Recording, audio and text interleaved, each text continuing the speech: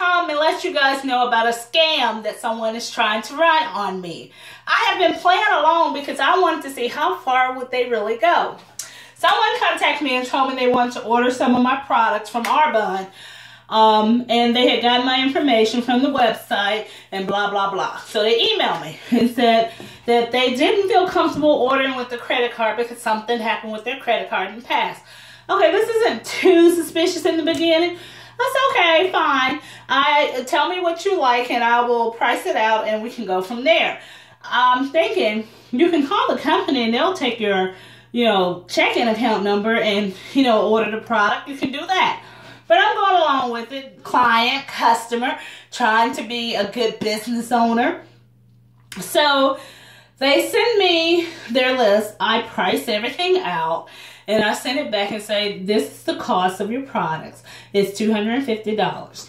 Um, oh, that's fine. I'm going to send you a check in the mail and we'll go, uh, you can order it and send it to me. I'm like, this is a lot of trouble. I got to uh, get the check, put in the bank, uh, order the product, get your address to send it to, all of this. But she's claiming her daughter is getting married and a lot's going on.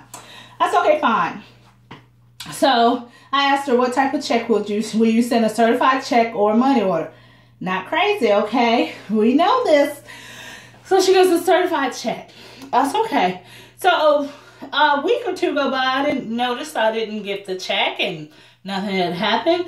So I text her because I'm headed out of town and I wanted to let her know, hey, I haven't received your check. Uh, so therefore I can't order your products. I'm going out of town. Just wanted to make you aware.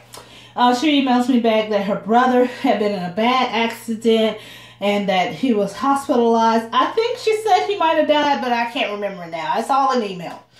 So anyway, that's okay. Sorry to hear about that. You know, just let me know if I can be of service. So, another week or so go by. Sends me, she sends me, it's supposed to be a she, sends me a text, I mean an email saying that her brother passed away and they had um to get the burial and all those services and that had kept her away from, you know, sending out the check. She's gonna contact her accountant to send me the money. I'm like, wait a minute, you got an accountant?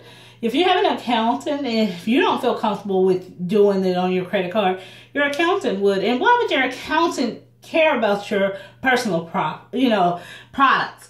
Anywho, I'm playing along because I want to see how far this is going to go.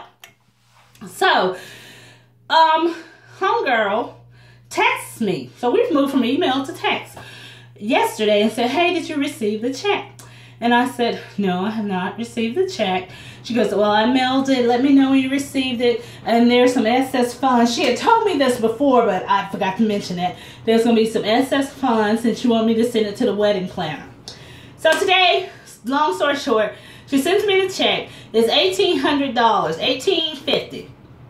And I'm supposed to deposit the check, take out the 250 and send the rest of the money to the wedding planner. Was I born yesterday?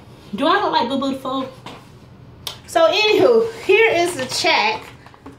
I don't want to show the um, account number because it very well could be somebody, some business real check that some scammer has gotten.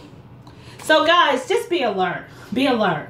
Scammers are out there. Evil people are out there.